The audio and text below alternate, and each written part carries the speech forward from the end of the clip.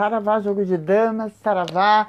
Esse é o Olhar Legal. O Olhar Legal é um quadro que a gente criou no jogo de damas há um tempo atrás e a gente acabou deixando de lado, mas a gente está retomando até porque os fatos é, é, da, da atualidade nos, nos pedem né, algum um olhar legal, ou seja, de gente que entende de leis, de gente que entende do, do, do ambiente jurídico, que possa nos explicar e esclarecer melhor toda essa situação que a gente está vivenciando.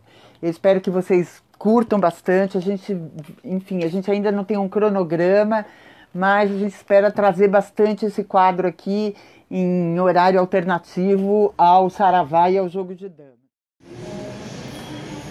Tudo bom, pessoal? Hoje, segunda-feira, é, dia 24 de maio, de 2019, um dia depois do jogo Brasil e França, é, a seleção brasileira de futebol, dessa vez a feminina, infelizmente não conseguiu a vitória. Mas eu, como amante do futebol, eu postei na minha página do Facebook é, que foi o melhor jogo Brasil-França de futebol que eu assisti nos últimos 40 anos. E aí o pessoal estava comentando, ah Rubens, poxa, é, pô, para com isso também e tal, tá puxando muito aí para as meninas, quer dar uma de, de, elegante, né, e tal. E aí até outros comentários, né? Porque segundo padrões é, de esquerda, eu sou machista, direitista, capitalista, sei lá, é, homofóbico, enfim, um monte de coisa. É, e no caso o elogio não corresponderia à realidade em relação à seleção feminina. Bom, deixa eu contar um segredo para vocês, acho que ninguém sabe disso.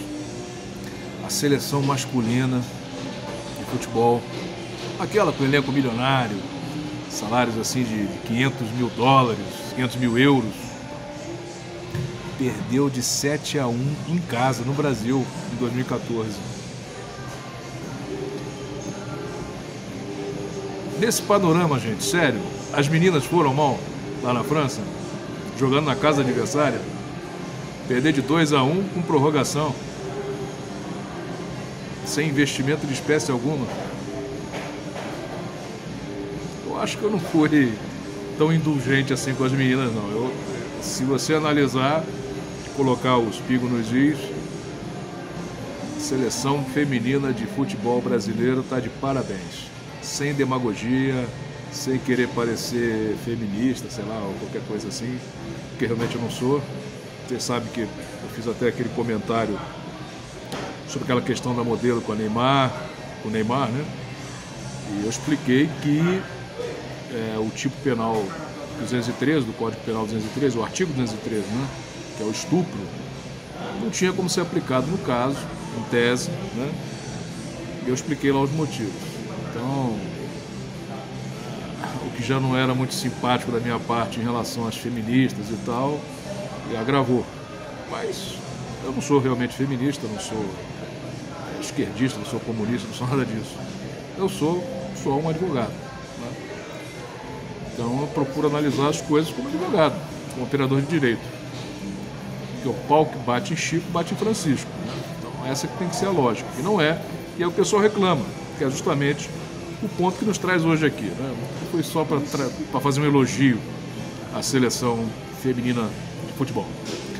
É um convite, eu me senti lisonjeado, mesmo depois daquela live que eu faço comentários ou machista, né?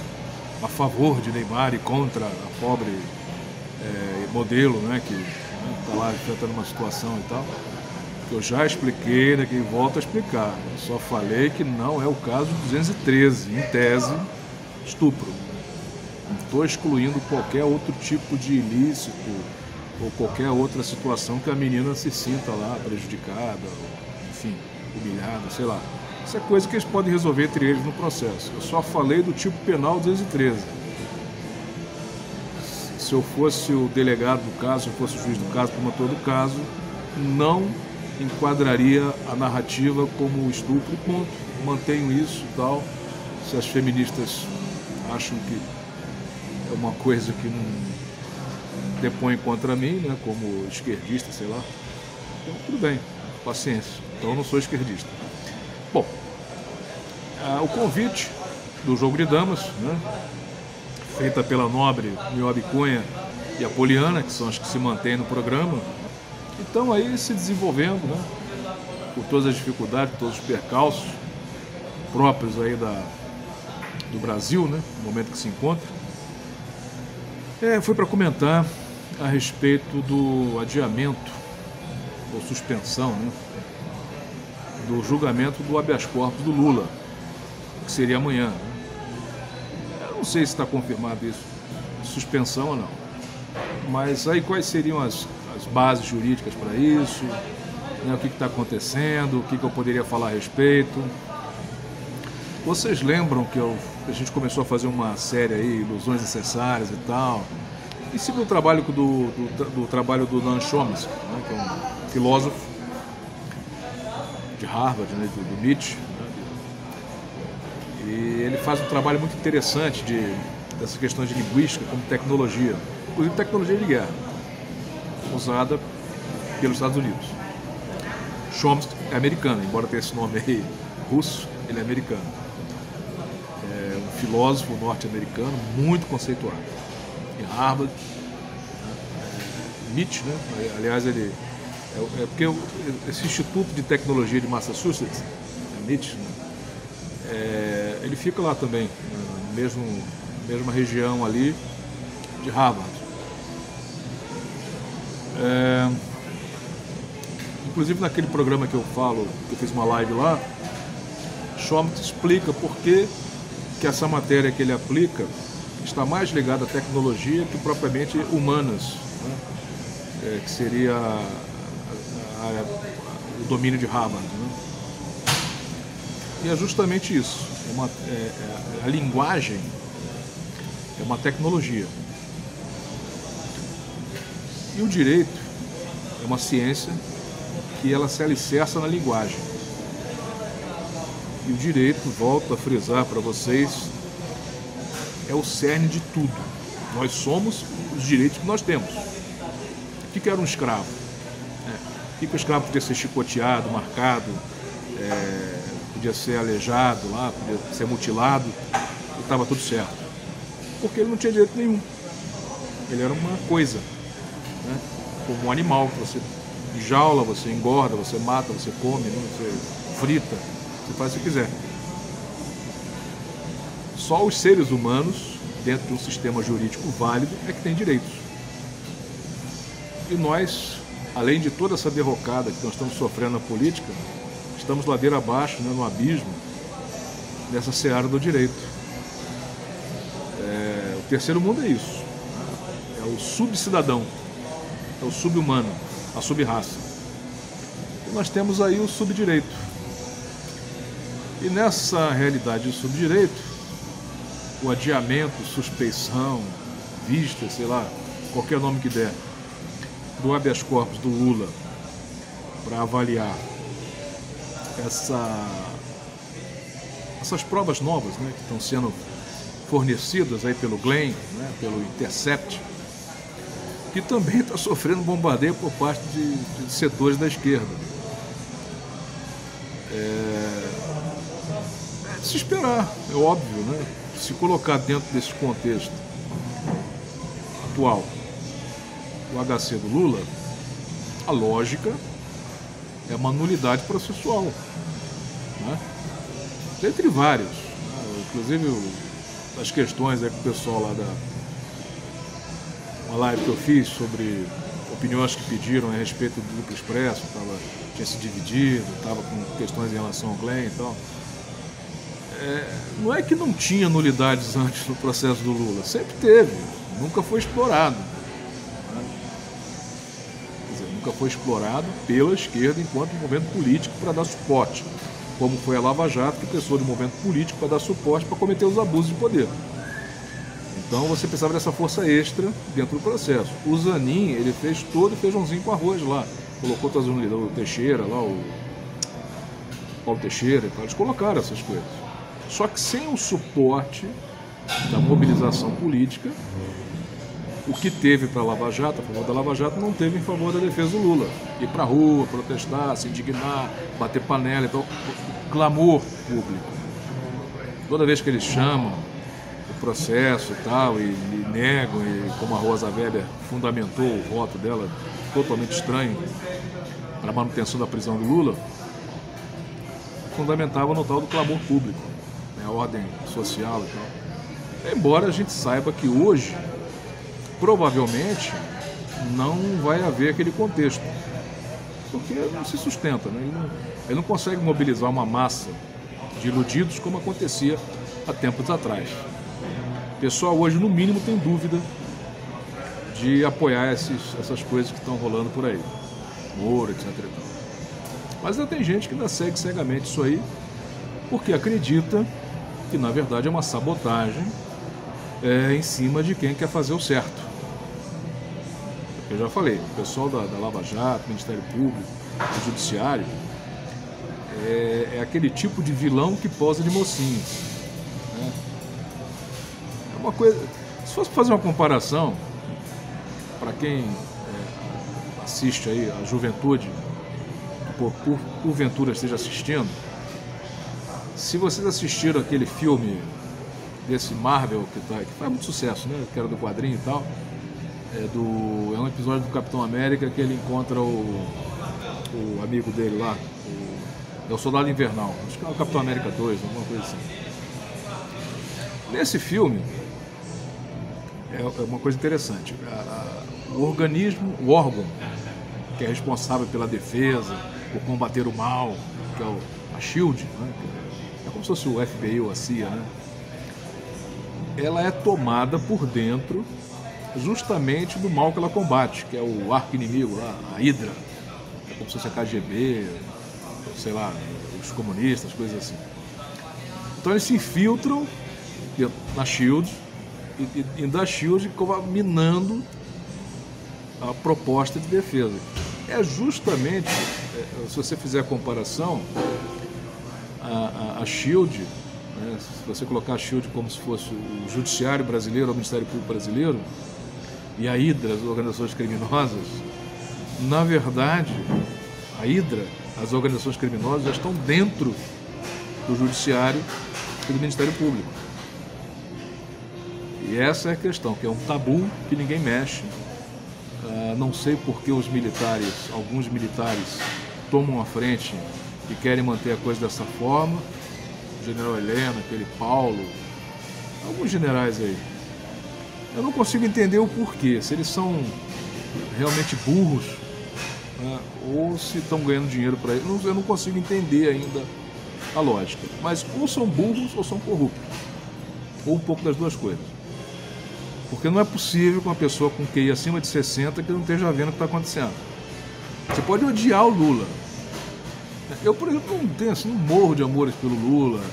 Eu tenho, ah, sou lulista, sou não sei o quê, sempre fui atrás do Lula lá e foi indo atrás de. Eu nunca fiz isso, nunca fui em passeata nenhuma. A questão do Lula é emblemática. É, um, é uma vítima de abuso de poder da magnitude dele. Então, como eu lido com várias vítimas de abuso de poder, que aliás foi até uma da, da, das colegas aí da, da, da, rede que me trouxeram outro caso de abuso de poder, e é o que eu falo, né? ah, vamos imaginar o Zé Ninguém e tal. O que eu tenho de Zé Ninguém que sofre com abuso de poder do Ministério Público, da Polícia, do, do Judiciário, não está no gibi. Entendeu? Mas Zé Ninguém é Zé Ninguém. Então, veio do anonimato, continua no anonimato. Como esse abuso de poder pegou pessoas eminentes como a Dilma, como Lula, né? e outros, mesmo Palocci, né? o Palocci, o, o Bacari, né? o Marcelo Debrecht e tal, vítimas de poder que são pessoas ricas e, e proeminentes na sociedade. Então imaginei que, dando os elementos que faltassem para a defesa, porque a defesa também ela entra naquela coisa padrão, achando que é um caso padrão. É que eu tentei o tempo todo alertar a defesa do Lula. Antes, muito antes disso tudo ser constituído. Acho que em 2014 eu tinha falado com a Dilma, falado com Lula, inclusive em 2015 eu fiz uma carta avisando para o Lula tudo isso aí e tal. Protocolei no Instituto Lula quais seriam as saídas.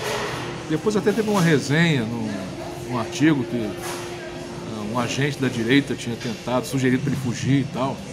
Não sei se estava falando do meu caso, da carta que eu coloquei. Não sei se teve outros casos assim de pessoas sugerindo. Mas o caso é que eu fiz por escrito. É, expliquei a estratégia até para ele poder se afastar do alcance dos inimigos, para poder articular uma, uma defesa. Isso não foi atendido, depois insistiu, é, chegou até mais contundentemente em dois aspectos.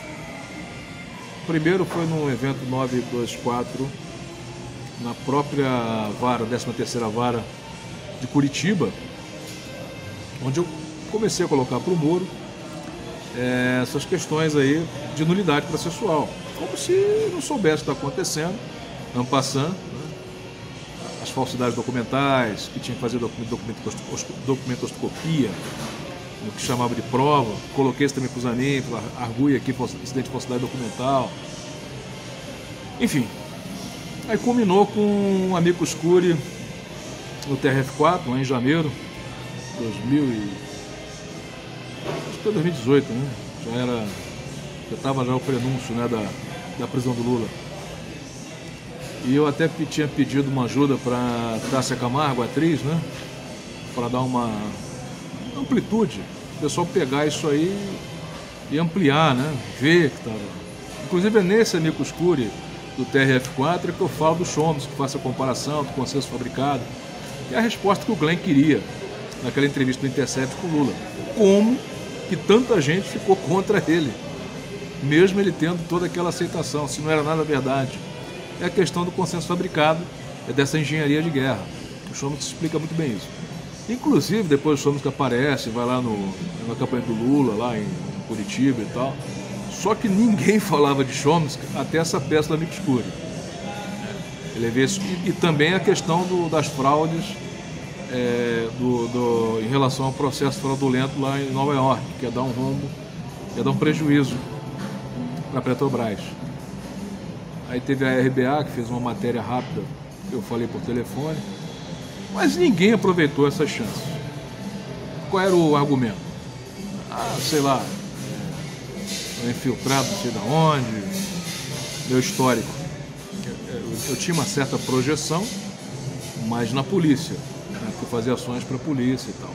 Então, isso lá, sei lá, cara de direita, não sei o quê. Que é mais ou menos o argumento que usa em relação ao Glenn agora, que o Glenn é americano, que o Glenn era não sei o quê, que o Glenn é, sacaneou o Snowden, não mostrou as coisas, Snowden não se deu bem e tal. Eu já falei, inclusive, acho que antes já tínhamos feito uma, um manifesto Estoril, 2017, quando o Moro foi a primeira vez lá em Portugal, Estoril, e eu tinha protocolado junto com o pessoal lá, estava aquele movimento de andorinhas, né, do, lá de Lisboa, que o Snowden como foi a estrela de Estoril, merecia uma, um habeas corpus internacional. Promovido até pela organização lá do Congresso. Né? O manifesto de Estoril ficou de Coimbra a Curitiba, que foi um retrocesso. A gente saiu de Coimbra, das ordenações manuelinas, né, tal, Filipinas, e descambamos para Lava Jato, que virou uma porcaria, é uma perseguição medieval do martelo de Thor. Resumindo essa, essa história toda, vou ver até depois se a Niobe encontra essa, essa matéria do, do Amigo Escure, para vocês lerem na íntegra, como foi feito lá no TF4, explicando para o Gebran que ia ser um prejuízo, tá? ia destruir o país, ia destruir as empreiteiras, ia destruir toda uma classe, é, uma, uma, um segmento produtivo do Brasil. Mas não adiantou nada. Né? Vontade de destruir o Lula era tão grande, ou realmente o objetivo era esse, era sabotar o Brasil.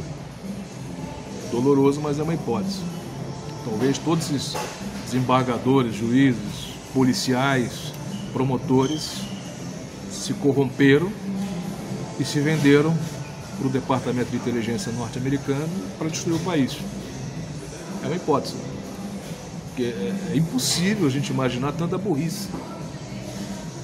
O brasileiro seja tão burro assim. Você tem que ter um, tem que ter um pouco de maldade nisso. Não dá para acreditar. Né? Como pensaram lá no 7 a 1 da Alemanha, pessoa, a pessoa que entregou o jogo. Tá, e, e, e esse é o ponto. Quando me acusaram aí de é, demagógico, um elogio para a seleção feminina, como que eu posso ser demagógico se a seleção masculina perdeu de 7 a 1 em casa para a Alemanha? A seleção masculina não pode falar nada da seleção feminina. Nunca. Entendeu? Então não foi demagógico, foi de coração e realmente achei o jogo muito bom. Não é bom porque era mulher estava jogando. É, o jogo foi bom, boa qualidade, com a prorrogação, quer dizer, um desgaste muscular muito grande. É visível que o trabalho de massa muscular das meninas não é nada. Você vê que ela tem uns, uns corpos normais, não tem uma, uma, um trabalho muscular fora do normal. Então, você imaginar 90 minutos regulamentar, depois meia hora na prorrogação, correndo e apanhando, levando um chute e tal, estiramento. Acho que elas se superaram ali. E perder de 2 a 1 um para a França em casa foi um feito histórico. Então, de parabéns, de verdade, de verdade. Porque quem perde 7 a 1 não pode falar nada, né? Bom, era mais ou menos isso. Eu estava conversando com a Niobe dessas questões aí. Então ela até pediu para eu fazer uma palhinha no jogo de damas, que pelo menos o jogo de damas não acha que eu sou é, tão é, machista, né? ou, ou, tão anti-esquerdista assim, a ponto de não poder nem falar né? dentro de um movimento de esquerda, um movimento progressista, um movimento é, que preza né, a, a, o feminino, o jogo de damas, que tem aí também superado diante todas as dificuldades. E brincadeiras à parte, eu estou aqui à disposição, fico muito honrado com o convite, sempre que quiserem convidar. Eu gostaria de dar uma boa notícia para vocês, dizer que segundo o artigo tal na Constituição, blá blá blá, teoria pão e tal, então vai acontecer isso, não vai acontecer nada. Enquanto a esquerda não pegar, botar todo mundo na frente dos tribunais, na rua, batendo panela, entendeu? Não vai acontecer nada. Absolutamente nada.